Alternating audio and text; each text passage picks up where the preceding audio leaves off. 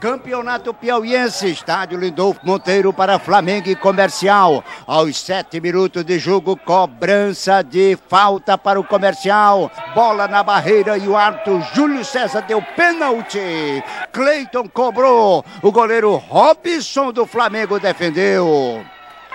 Um minuto depois, outro pênalti neste lance na área do comercial. Agora para o Flamengo, na cobrança da Silva Lagoano e bola na rede. Flamengo 1 a 0.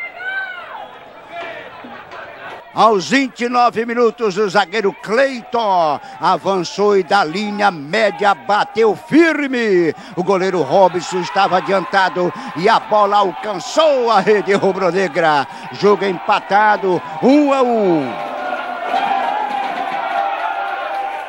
Segundo tempo, 21 minutos, o terceiro pênalti no jogo e para o comercial na cobrança Paulinho e gol comercialino no placar comercial 2 a 1. Um. 47 minutos, acréscimos. O Flamengo foi com tudo em busca do empate. A bola sobrou para o lateral Zuza. E daí foi a rede comercialina. Gol do Flamengo. Zuza empatando o jogo. Placar final: Flamengo 2, Comercial 2.